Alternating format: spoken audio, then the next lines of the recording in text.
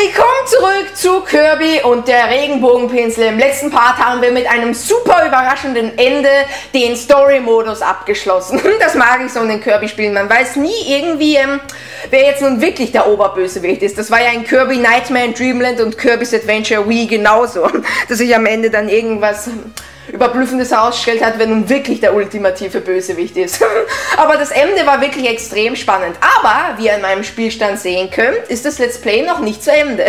95%, eigentlich schon recht viel. Um ehrlich zu sein, ich habe mir mal wieder erwartet, dass so wie in Kirby Triple Deluxe eine Art Extra-Modus gibt, wo dann alles so schwer ist. Aber nicht, naja, um ehrlich zu sein, bin ich froh darüber, denn der Extra-Modus in Kirby's Adventure Wii zum Beispiel, der war zwar, ähm, ganz nett, aber er war fast nur das gleiche und das war dann schon ein bisschen nervig im Let's Play. Der Extra-Modus von Kirby Triple Deluxe hingegen war super mit DDD und dem Speedrun und so.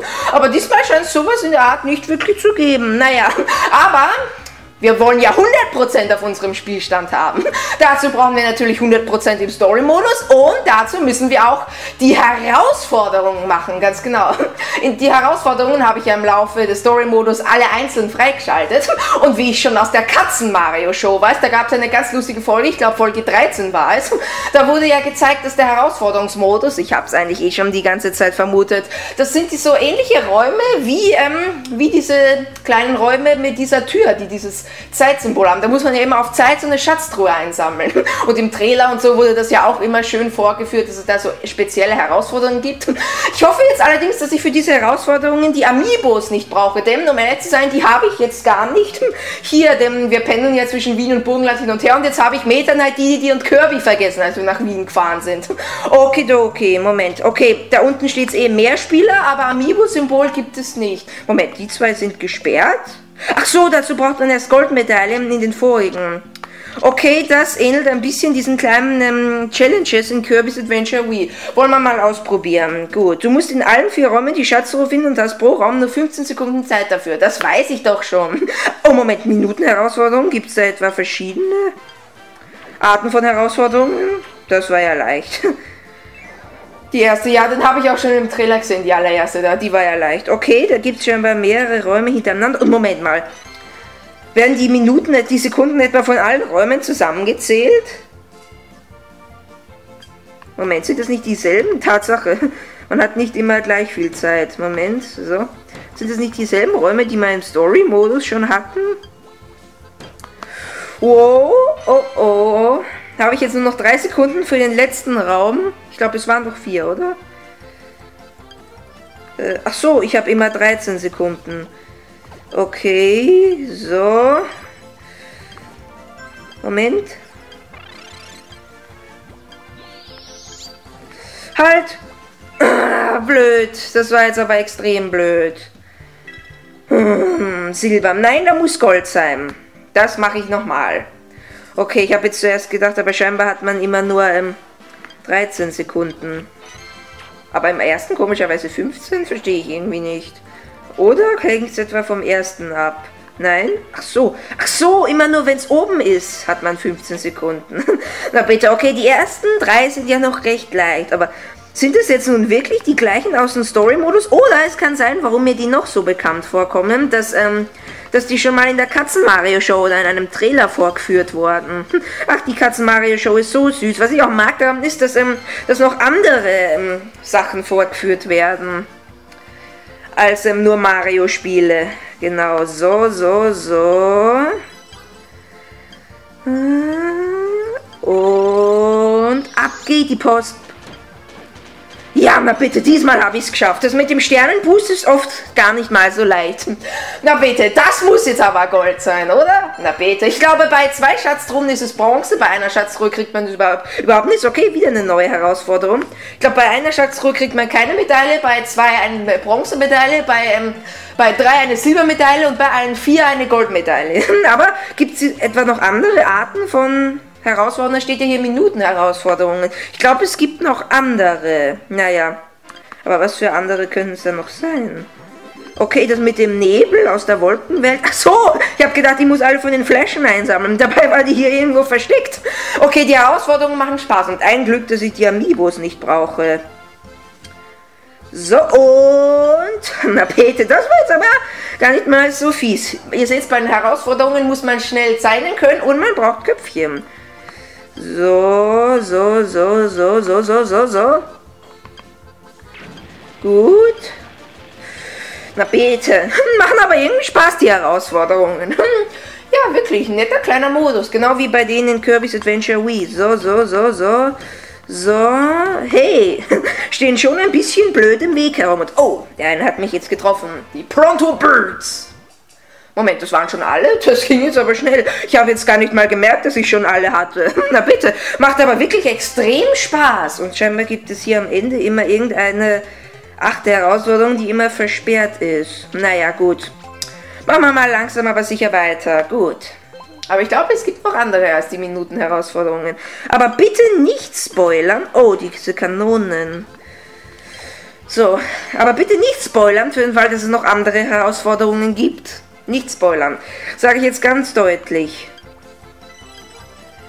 Äh, Moment. Denke ich mir ja. Da muss doch ein Sternenboost kommen. Na bitte, super duper. Aber die Herausforderungen, die machen echt Spaß. Nettes kleines, ähm. Was? Moment. Denke ich mir ja, da muss doch. Nein, das kann es nicht sein. Der leere Raum hat mich aber irgendwie jetzt überrascht. Das war jetzt aber doof. Naja. Moment. Ach so, es geht noch weiter. Nein, ich, ich starte neu. Muss ich neu starten. Aber Amiibos und so kann man hier nicht einsetzen, oder? Nein, sonst wird das ja stehen. Gut. Und, na bitte, die erste hier ist ja leicht, wenn man weiß, wie es geht.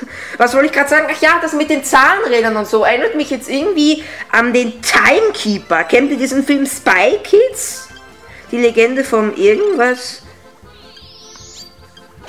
Da war ja auch so ein, da waren ja so auch ähnliche Räume mit ganz vielen Zahnrädern und so, mit diesem Typen, der ja die, die Welt beherrschen wollte, indem er ähm, die Zeit schneller vorwärts gedreht hat. Obwohl eigentlich wollte er ja nur seinem Vater, zu seinem Vater, der ja früh gestorben ist, weil er ja so dumm war und mit seiner Zeitmaschine herumgespielt hat. Ach, obwohl habe ich jetzt auch so sehr gespoilert für welche, die den Film noch nie gesehen haben. Naja, für, die, für den Fall, dass ich das getan habe, tut es mir leid. Naja. Aber ich kenne das, Spoiler sind ätzend. Aber es gab schon manchmal Abonnenten, die gespoilert haben, obwohl ich es nicht will. Ich sehe jetzt mal drüber hinweg, aber ich sag's nochmal, bitte nicht spoilern, bei, wenn ich Blind Let's Plays mache. Das mag ich überhaupt nicht. Also bitte, ich bin nicht böse, wenn ihr es trotzdem macht, aber es wäre extrem nett, wenn ihr es nicht mehr machen würdet. Gut, aber ich glaube, die Räume sind doch anders. Na bitte, das erste war ja hier voll leicht. Naja, aber ich glaube, ich hatte auch ein kleines bisschen Glück. Okay. So, so, so. So, das erinnert mich jetzt an einen Raum aus Kirby Superstar Ultra. Wie ich jetzt ganz schnell wieder raufkommen bin. Macht aber Spaß, ja wirklich. Und Beeilung, tippidi tippidi tipp. Na bitte, das macht Spaß. Oh, das macht aber wirklich Spaß. Die Herausforderungen sind kleine, aber feine Level. Wow, wow, die muss ich jetzt besiegen. So. So, komm, komm, komm, komm, komm. Ja, das war knapp, aber ich hab's noch geschafft. Na bitte, eine Sekunde. Mann, oh Mann. Okay, die Herausforderungen machen extrem Spaß sogar. Erinnert mich jetzt, um ehrlich zu sein, ein bisschen an DDT's Drum Dash Deluxe. Das habe ich ja auch vor einiger Zeit gemacht. Dieses Jahr sind aber viele Kirby-Spiele herausgekommen, auch wenn es nur zwei davon solche, zwei davon nur so ganz kurze waren. Hat aber, waren aber trotzdem viele Kirby-Spiele. Und DDT's Drum Dash Deluxe war extrem gut. Wie gesagt, in Amerika ist das ja... Ach, seht doch einfach mein Let's Play an. Das Let's Play ist zwar nur vier Parts lang, ich habe mir aber trotzdem Mühe gegeben und es hat mir Spaß gemacht. Ja. Und Kirby Fighters Deluxe. So. Genau, da muss man sich jetzt so durchfallen lassen. Raffiniert, aber das sieht jetzt wirklich aus wie bei diesem Timekeeper aus Spy Kids. Genau, das habe ich im Trailer gesehen. Da muss man jetzt alle Blumen dafür sorgen, dass sie die Sterne ausspucken und dann spuckt diese unsichtbare Truhe die echte Truhe aus. Oder, naja, ist jetzt auch wurscht. Gut. Soldat Kotter? machen Sie den Weg frei. Nein, mache ich nicht. Dann muss ich sie wegpusten. Hua! Obwohl Kirby kann ja eigentlich nicht reden. Ja, gut, na bitte, die gehen manchmal schneller, da versieht man sich und schon ist es fertig. Macht aber extrem Spaß, ja wirklich. Macht meiner Meinung nach noch mehr Spaß als der Story-Modus. Ich frage mich, warum so wenige dieses, Let's, dieses Spiel Let's Playen. Viele sagen, das Spiel ist nicht gut, aber auch wenn es nicht ganz leicht ist und die Steuerung komisch ist, es macht doch trotzdem Spaß. Also ich verstehe es nicht, dass viele das Spiel nicht mögen, das ist doch extrem gut. Naja, jedenfalls mir macht Spaß und ihr seht ja, wie enthusiastisch ich hier weiterspiele. Am Anfang, ich gebe es zu, am Anfang fand ich die Steuerung ziemlich doof, aber ab Welt 3 hat das Let's Play dann richtig angefangen, hat das Let's Play dann angefangen Spaß zu machen. So, so. Genau in die Mitte von dem großen Zahnrad rein. Bin schon gespannt, was denn noch alles für Herausforderungen kommen. Oh, ähm, so, so, so. Ja, die, diese auflösenden Dinger, das ist jetzt etwas doof. Komm, bitte, bitte, bitte, bitte, bitte. Mann, das war knapp, aber ich hab's noch geschafft. Na bitte. Das war jetzt aber nicht mehr so leicht. Hm. Aber macht richtig Spaß und ich bin extrem froh, dass man nicht Überlebensherausforderung, wie es. Moment mal. Überlebensherausforderung. Ich wusste doch, es gibt verschiedene. Ach, ich dachte mir doch, jede achte ist so eine. Habe ich mir noch gedacht. Überlebensherausforderung. Ich bin schon gespannt, was das ist, aber zuvor mache ich die siebte noch. Überlebens. Ich glaube, das sind dann viele Gegner und man muss versuchen, unbeschadet durchzukommen. So, genau. Und dann eine gezielte Linie. Die Kanone da hätte dann nämlich wieder zurückgeschossen. Raffiniert, raffiniert, raffiniert. So. So, jetzt schnell durch und na bitte, die machen aber echt Spaß. Nur der Hintergrund ist etwas. Er ist cool, aber irgendwie passt er nicht so wirklich dazu. Naja. Jedenfalls, na bitte, raufgeschossen und Kirby baumelt runter. Macht echt Spaß. Okay, die muss ich mal wieder durchboost. Moment, ich habe nur einen einzigen Boost. So, und genau. Na bitte. Und wow, das war knapp, aber ich habe es noch geschafft. Na bitte, diese Kotta-Birds oder Kotta-Ramsen oder äh, Ritter-Ramsen oder irgendwie so hießen die. Naja, gut, jetzt bin ich aber schon gespannt, was diese Überlebensherausforderung ist. Wie viele Schatzungen kannst du nacheinander sammeln? Verpasst du eine, ist es vorbei. Achte auf die Zeit. Äh, Moment mal. Ach so, Moment. So, so, so, so. Ist das jetzt so etwas wie bei Captain Toad, dieser allerletzte nervige Level? Aber das ist doch jetzt praktisch gesehen nichts anderes als das vorige. So, so, so, so. Und was genau passiert da jetzt? Ach so, ich glaube, das ist eine andere. Ihr habt es ja gesehen vorher, wenn man da eine verpasst hat, dann, ähm, dann...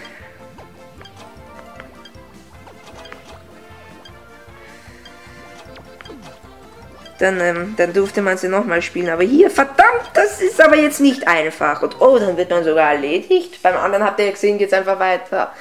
Jetzt weiß ich, warum das Überlebensherausforderung heißt. Okay, zwölf hintereinander? Keine Medaille. Das mache ich selbstverständlich nochmal. Das macht aber Spaß, wirklich. Und ab geht die Post, Post, Post. Oh.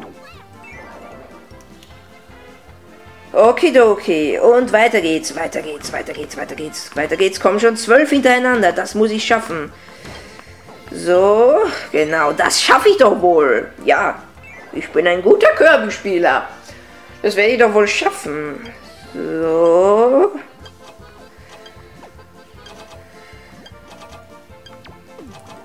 Ja, ja, ein Glück. Diesmal habe ich das endlich geschafft. Mann, das war jetzt aber schwer. Moment, das waren noch dieselben wie vorher. Oh Gott, das ist diesmal aber schwerer.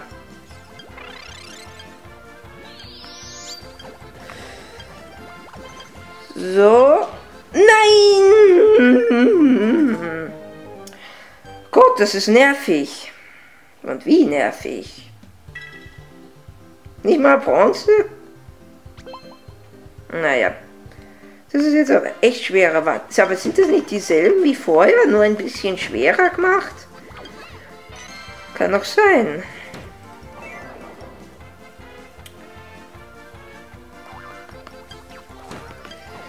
So, so und rauf. Rauf geht die Post. Hey, hey! Hey! Das kann's nicht sein. Aber ich hab's jetzt zum Glück noch geschafft. Das ist aber echt schwer.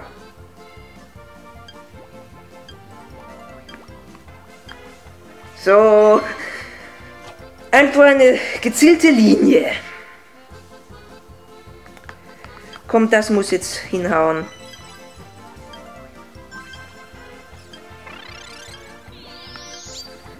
So. Wow. Ein Glück, das war knapp. Übrigens, falls ihr gehört habt, eine Vespa war draußen. So. Und. Na bitte, das sind dieselben wie vorher, oder? Das hat man doch auch schon mal gerade eben. Okay, das ist neu. Nimm das, du fette Schwester.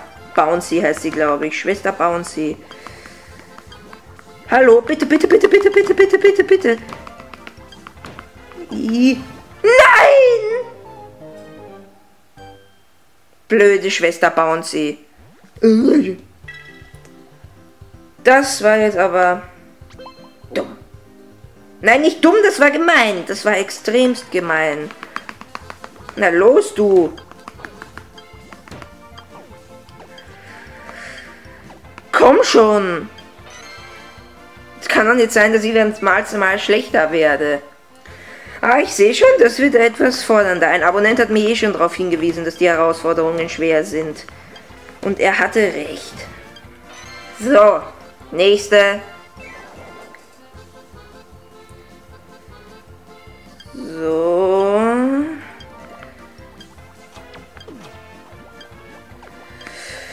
So.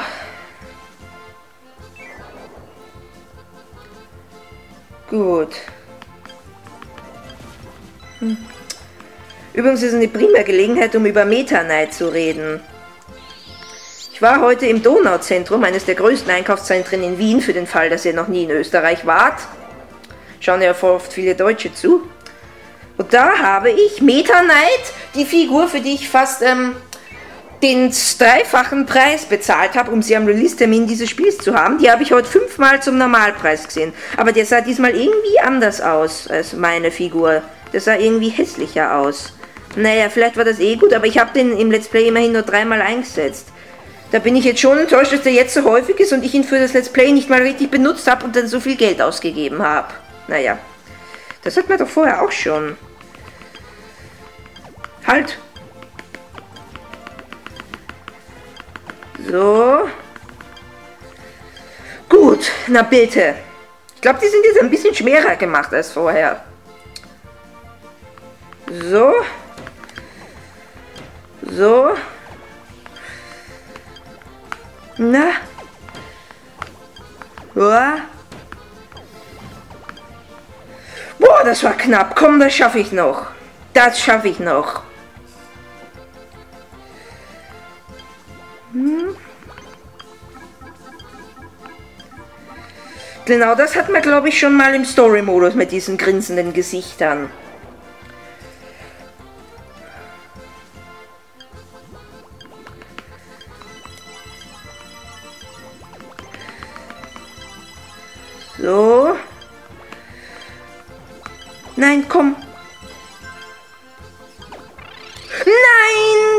Kann's nicht sein. Ich, hab, ich hätte nur noch abdrücken müssen.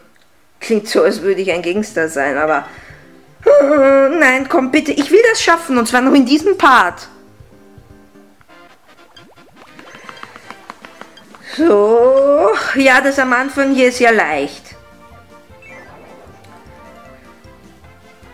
Das zweite geht, man muss halt nur dafür sorgen, da muss man halt nur den Rhythmus von den Bouncies kennen.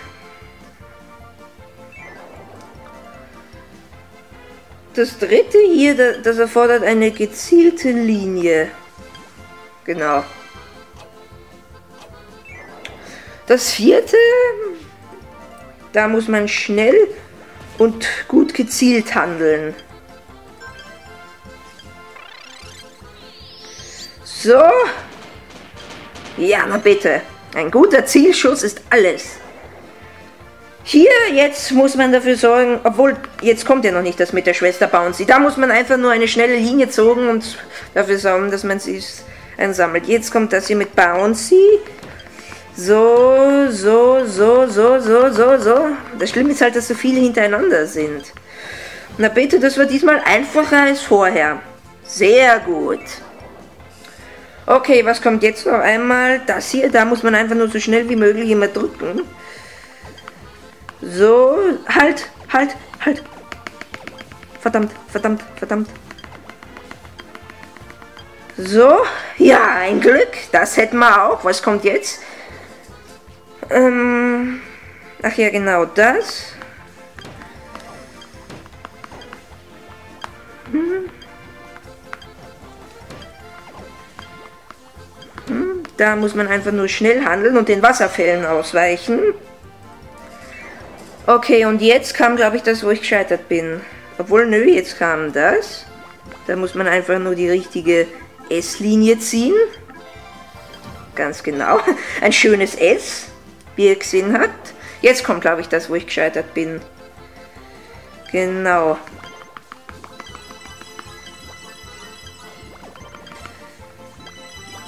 Halt!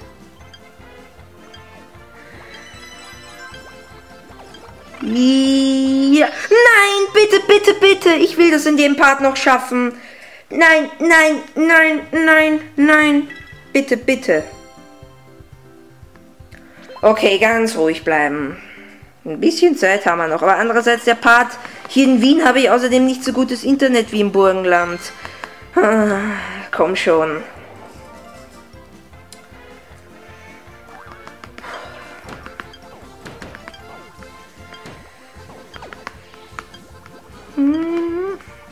Halt! Verdammt!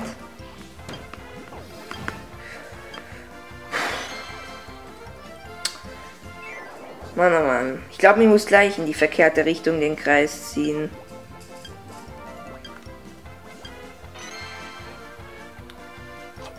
So.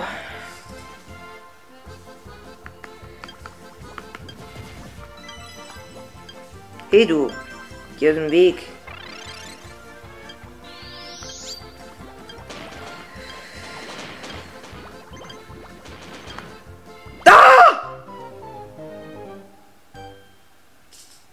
Nein, ich glaube, der Part ist zu lang. Verdammt, ich hab's nicht geschafft. Die sind doch schwerer, als ich dachte. Aber nein, ich gebe nicht auf.